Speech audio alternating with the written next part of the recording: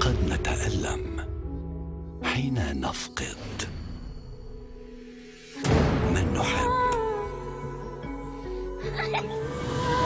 ونتألم أكثر إن لم تتحقق.